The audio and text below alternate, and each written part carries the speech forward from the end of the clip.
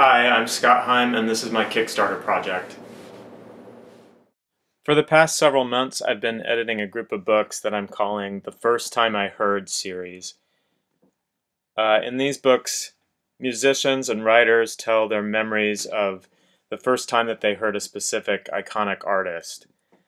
I decided to focus my first five installments of the series on David Bowie, the Cocteau Twins, the Smiths, Kate Bush, and Joy Division New Order. I'm a novelist myself, but I'm pretty obsessed with music, and I uh, certainly have really clear recollections of my initial connection to these uh, five particular artists that I'm doing and the music that I first heard by them. Uh, so for this project, I what I did is I contacted hundreds of people from my favorite bands and a bunch more of my fellow novelists and poets. I was really surprised at the amount of responses I got.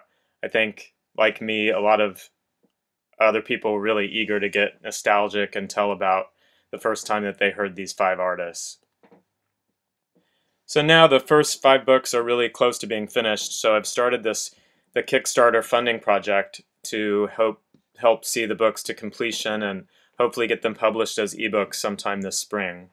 It was really a lot of fun compiling and editing the project, and I hope it's equally fun for fellow music lovers to read.